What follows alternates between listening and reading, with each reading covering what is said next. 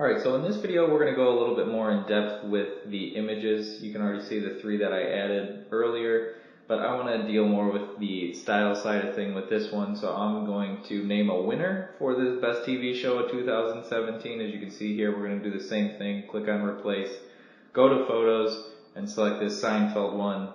They uh, prevailed and were the dark horse in this TV show battle.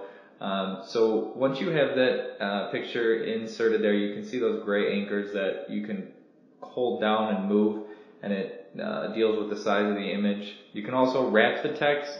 Um, you see different options. I'm going to go ahead and select through here so this text lines up nicely to the image there.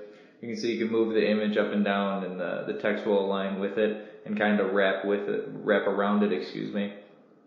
Um, now let's go ahead and delete this image out of there as well. Um, so once you click back on that image and are in the pictures tab, there's a few things you can do. The first thing we're going to talk about is the shadow and reflection fields. So if you go ahead and just click on shadow, you can see this drop down gets put in there. You can select from any of those ones you want. I'll just put a simple one in there. Next is reflections. We can put a reflection in there with the text. Uh, that looks pretty bad, so we're going to take that away really quick. Uh, let's put back no reflection. And then once again, you can wrap text um, that will work with the text. You can put it behind and front.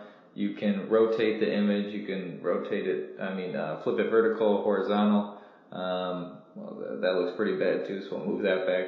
On the cropping, you can, if you, your image is a little large, you can use the crop tool to make it a little smaller or bigger.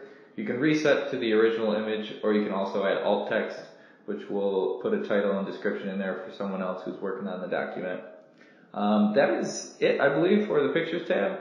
So we can move on to the next video now.